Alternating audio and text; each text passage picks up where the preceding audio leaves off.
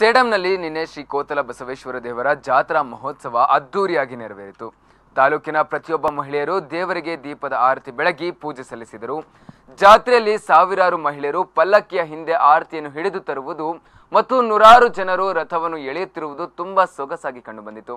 ಸೇಡಂ ಪಟ್ಟಣದಲ್ಲಿ ಪ್ರತಿ ವರ್ಷವೂ ನಡೆಯುವ ಈ ಜಾತ್ರಾ ಮಹೋತ್ಸವವನ್ನು ಈ ಬಾರಿಯೂ ಜನರು ಶ್ರದ್ಧಾ ಭಕ್ತಿಯಿಂದ ನಡೆಸಿದರು. ಜಾತ್ರೆ ನಿಮಿತ್ತವಾಗಿ ಗೀಗಿ ಪದ ಭಕ್ತ ಹಿತವಚನ ಸಭೆ ಹಾಗೂ ಅಂತಾರಾಷ್ಟ್ರೀಯ ಭಾರತೀಯ ಸಂಸ್ಕೃತಿಯ ಗಾಯಕರಿಂದ ಗಾಯನ, ಕುಸ್ತಿ ಸ್ಪರ್ಧೆಗಳು, ಅಗ್ಗಿ ತುಳಿಯುವುದು, ಮಡಿವಾಳೇಶ್ವರ ನಾಟಕ ಸೇರಿದಂತೆ ಹಲವಾರು ಕಾರ್ಯಕ್ರಮಗಳನ್ನು ಹಮ್ಮಿಕೊಳ್ಳಲಾಗಿತ್ತು. ಸಾವಿರಾರು ಸಂಖ್ಯೆಯಲ್ಲಿ ಭಕ್ತರು ಆಗಮಿಸಿ ಜಾತ್ರೆಯ ಮೆರಗು ಹೆಚ್ಚಿಸಿದರು.